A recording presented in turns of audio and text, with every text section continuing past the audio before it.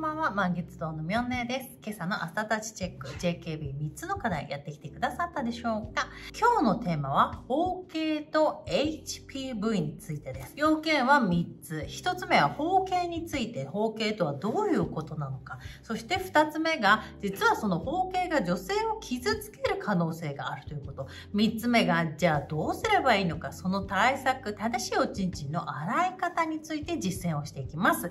えー、メリ今日の動画のメリットは、正しい包茎の洗い方がわかる。そして、HPV の知識、女性を守る方法。これらを全部わかると、最終的に女性にモテるようになるというのがメリットです。包茎で気になっている方や、コンプレックスがある方、白いカスが残っているという方、相手の女性を大切にしたいという方、などなど最後まで聞いてください。じゃあ、早速要点一つ目。包茎について。これね、えー、ペニス関係のコンプレックスとして多いのが、まずは大きさ。そして次に包茎なんですね。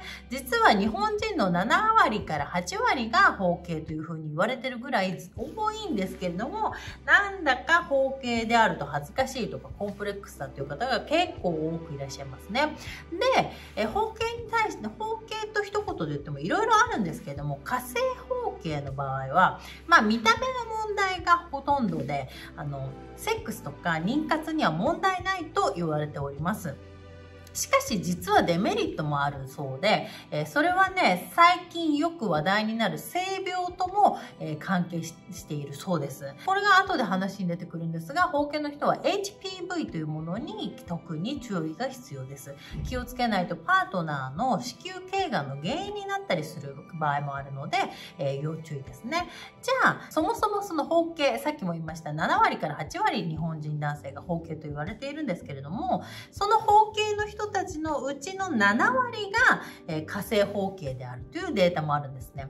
で、新生包茎の場合は、普段でも、そして勃起時でも、えー、常に皮を剥くことができないので、皮の中に隠れている気筒を見ることができない状態で、なので正しいセックスも難しいという状態なんですね。そういう場合は、えー、病院に行って処置をしてもらうとか、そういう風になってくるんですけれども、一方で、ほとんどの方が火星包茎と言われてるんですが、普段は気筒が皮で覆われているんですが、勃起時にはちゃんとヒュッて出てくる状態。なので、正常にセックスを行うことができる。はい。では4点2つ目。実は女性を傷つける可能性もあるということなんですね。これどういうことか話をしていきましょう。包茎の人のこの皮の中にはですね、粘膜型の P、粘膜型の HPV が95%という先生もいらっしゃるぐらい高確率で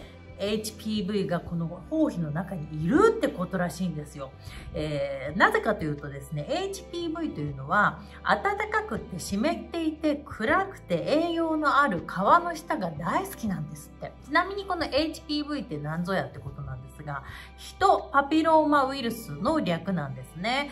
このなぜこれが女性を傷つけるかというと、HPV の方がいろいろあってですね、これは男性90%以上が、あの、何かしらの HPV に感染すると言われているような、こう、ありふれたウイルスではあるそうなんですが、その中の一部の方がですね、子宮頸がんの原因になるということが分かっているそうです。なので、その子宮頸がんになりやすい方の HPV がいる、そのウイルスがいる状態で、えセックスをしてしまうと、粘膜型の HPV が同じ粘膜である子宮とか膣に付着して、そこで癌になるということらしいです。ちなみに男性側はかからないそうで、なぜかというと、あの男性側はですね、ウイルスが粘膜と勘違いをしているだけで、この皮の中が、え、実際に、実際には皮じゃないですか。なので、癌にはならないそうなんです。ですが、相手のそこから粘膜を通して移動することによって、相手の女性が癌になってしまう可能性もあるということなんですよ。えー、このことから、包茎がなくなれば子宮頸がんは95%なくなるとも言われてるそうです。そんなことだったんですね。それはさっぱり知りませんでした。要点3つ目。この対策、ペニスの正し、包茎ペニスの正しい洗い方についてお話をしていきたいと思います。えー、実践していきましょうね。こちらに今日は持ってきました。そして、ちょっと黒めの、えー、バナナさんをご用意しました。で、包茎さんなので、今日はですね、このコンドームさんを使って包茎の皮を、えー、再現していきたいと思います。はい。こういう感じですね。ただし、包茎の火星方形の方は勃起した時は、えー、剥けるので先っちょを切ります。これが火星方形の型の状態ですね。勃起していない時は皮をかぶっている。そしてペニスが勃起をしたら皮が勃起をしたら皮がシュシュシュシュシュッと下がってくるというのが火星方形ですね。で洗う時のポイント。皮をかぶせたまま洗わない。しっかりと皮を剥いてから洗うということがめちゃくちゃ大事になってきます。まずは皮を剥きます。そしてよくなじませますね。お湯と。次、石鹸で洗うんですけれども、石鹸とかボディーソープとか、どういう感じで皆さん洗ってますか？あの、シャッて洗ってませんか？よく泡立てて洗ってますか？はい。ゴシゴシシャって終わらせず、もしくはお湯だけで終わらせず、ちゃんと泡を使って洗っていきます。で、泡をよく泡立ててください。あの、ボディタオルとか使う方が多いと思うので、そしたらその泡、そして手で洗う派だという方は、このように、あの、まあ、手でも泡立てできますので、泡立ててから、この泡で洗ってあげるっていうことが大事になってきます。洗う時ももう一度皮をしっかり下ろす。そしてあの泡立ててこうやってきれいに洗ってあげる。でその時にですねこの針の部分ですね針のところもきれいに爪を立てず傷つけないように洗ってください。しっかり陰茎も洗ってあげます。だいたい全部洗い終わったと。そうするとまたシャーってシャワーで流すのではなくしっかりと洗い流してください。しっかりと指でこうやってこすりながら洗い、こすりながら流す。こういうことが大事になってきます。ちょっと流してみます。はい。さて、しっかりきれいに洗えたでしょうかで、この時また皮が戻ってるようでしたら、えー、皮をもう一回ちゃんと出します。で、白いカスここら辺先っちょのあたり白いカスないですか？白いカスがある場合はそれもしっかり取り除いてください。あの強くギリギリとせずにあの優しい力ででも適当じゃなくちゃんと洗うってことが大事です。はいここまで来ました。はい次どうしてますか？皆さん。自然乾燥じゃないですか？99.9%の方が。ここで大事なのが、はい、もう一回皮を剥いてから乾燥させる。えー、これね、ドライヤーをおすすめしてる先生もいらっしゃるぐらいなんですよ。まず剥いてしっかり拭きますね。しっかり拭きつつ、結局皮の中が蒸れたりするので、ドライヤーで乾燥させる。でもこのドライヤーで乾燥させる時に気をつけてほしいのが熱い温度と強い風でやらないこと弱で近くに近くに近づかせすぎない。これぐらいで髪の毛もあんまり近づけるなって言いますけれどもこれぐらいでしっかりと乾かしてください。